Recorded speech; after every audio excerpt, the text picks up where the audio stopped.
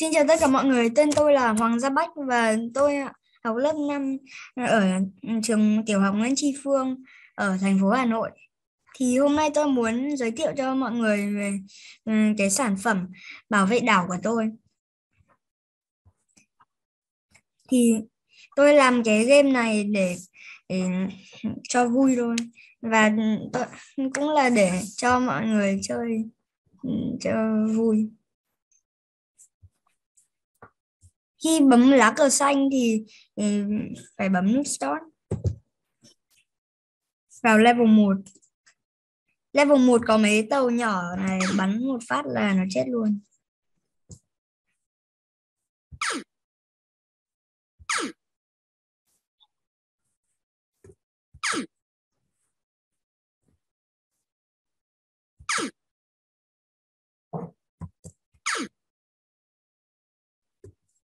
Tôi cũng đã làm ừ, dùng cái cái âm thanh bản đấy từ thư viện ừ, âm thanh của Scratch.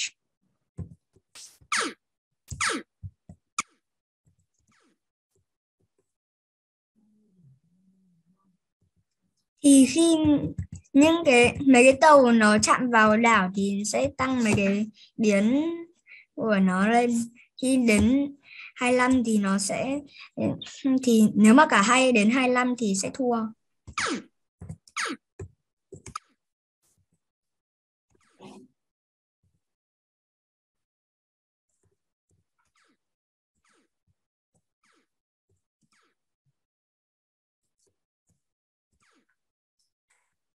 Còn khi ừ, lên ờ, ở điểm thì nó trên 20 thì sẽ lên level 2.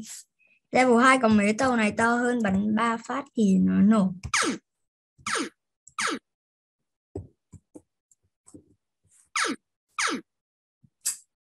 Còn trên 25 điểm thì sẽ có mấy tàu to hơn nữa, bắn 4 phát nổ.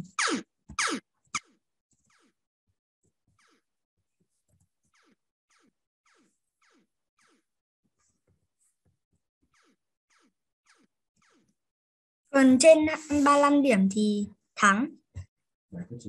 Bài thuyết trình của tôi à, đến đây là kết thúc. Cảm ơn tất cả mọi người đã xem. À, dạ Bách ơi, con có thể chia sẻ một chút xem là um, trong cái dự án này của mình, à, nếu như mà có thêm thời gian thì con có muốn phát triển thêm cái tính năng nào mới cho chương trình của mình hay không? Nếu mà có thêm thời gian thì con cũng sẽ làm cho có mấy cái tên lửa ở đây giúp được và mấy máy bay ở đây.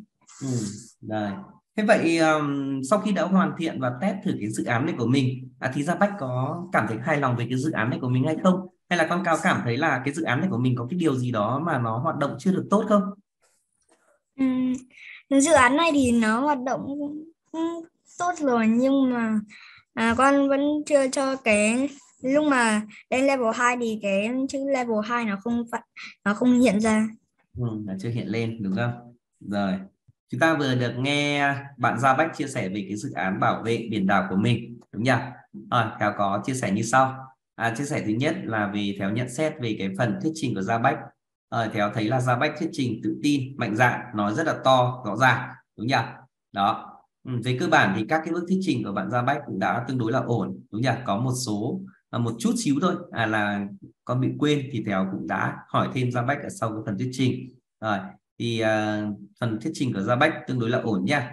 Ừ, tuy nhiên thì cần phải xem lại một số cái bước thuyết trình để có thể đầy đủ hơn nữa Gia Bách nha. Rồi còn như vậy là rất là tự tin mạnh dạn rồi. Thầy khen Gia Bách. À, Thèo có nhận xét từ phần thứ hai là về cái phần dự án của bạn Gia Bách. À, thứ nhất là về ý tưởng.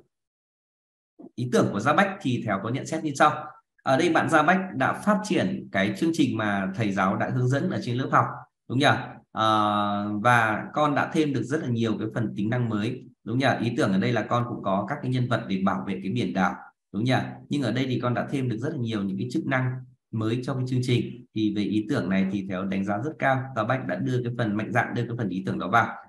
À, về cái phần thiết kế đồ họa thì về đồ họa của Gia Bách thì à, để đáp ứng được cái yêu cầu chức năng cơ bản của chương trình thì theo thấy là ổn. Nhưng mà để mà nói là thiết kế đẹp ấy hoặc là có thể hấp dẫn hơn về người chơi đúng nhỉ thì con có thể đầu tư à hơn một xíu.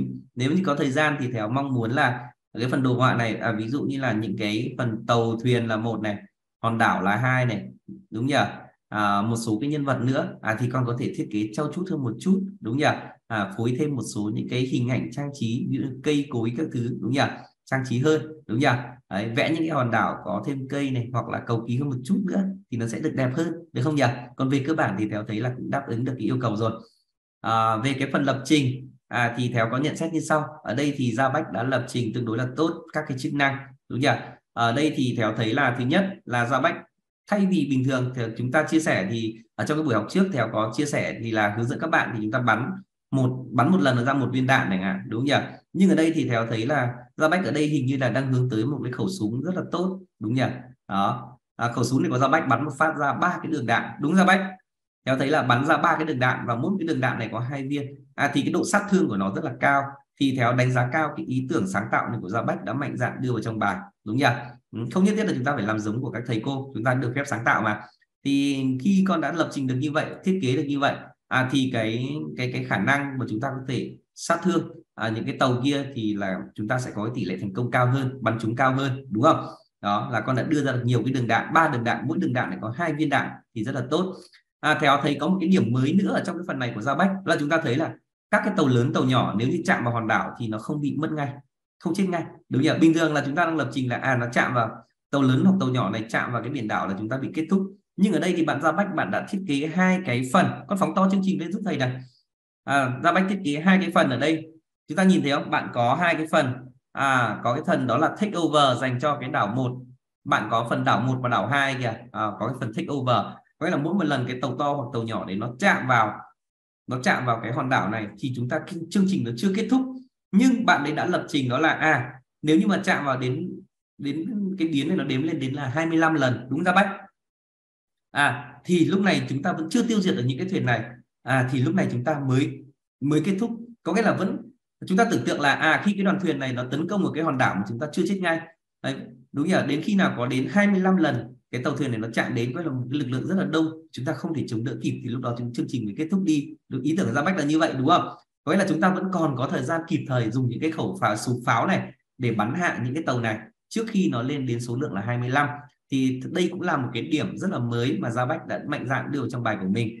Thì theo cũng đánh giá rất là cao cái ý tưởng này của con. Thay vì chạm vào chết ngay thì chúng ta vẫn có thời gian để chiến đấu. Nhưng cái thời gian này nó chỉ dừng lại ở việc đó là chúng ta chỉ cho phép là chạm vào đến 25 lần ở hai cái lần biển đảo này. Đúng ra bách? Rồi, thì đây là một ý tưởng cũng rất là hay. Có nghĩa là gần như kiểu là cái phần tính mạng cho chương trình ấy chứ cho mạng cho nhân vật ấy, gần kiểu như vậy. Thì ra bách đã vận dụng để đưa nó vào đúng không? Ở trong level 2 của con thì à, con có xuất hiện cả level 2 và level 3 và level 2 thì xuất hiện những cái tàu lớn thì bắt buộc là phải bắn nhiều phát đạn ba phát đạn đúng không? Và ở cái phần level 3 của con thì phải bắn bốn phát đạn thì mới kết thúc được cái à, cái cái tàu thuyền lớn đó. Đúng ra bách? Ừ. thì đây cũng là một cái phần thì phải thấy là tăng cái độ khó. Nghĩa là chúng ta không phải bắn một lần chết ngay phải bắn nhiều lần hơn bởi vì cái độ khó của nó tăng lên. Cái tàu lớn chúng ta bắn nhiều lần nó mới chết. Đúng nhỉ?